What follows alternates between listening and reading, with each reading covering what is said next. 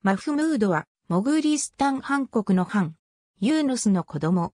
ユーヌスの死後、マフムードは、タシュケントとモグーリスタン西部で後を継いだが、モグーリスタン東部は、兄のアフマド・アラクが、すでに支配していた。マフムードは、数年前に、ユーヌスに都市を奪われて憤慨した、サマルカンド・ティムール朝のスルタン・アフマドとフェルガナの、オマルシャイフからタシュケントを守らなければならなかった。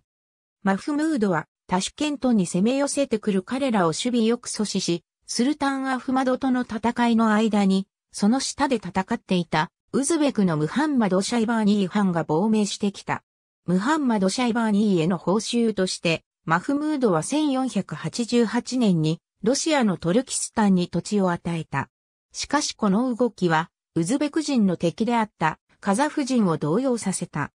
モグーリスタンハン国は伝統的にカザフと友好的だったが、カザフと戦争になり、マフムードは敗北した。在位は1487年から1508年まで。先代はユーヌス。時代はマンスール。ありがとうございます。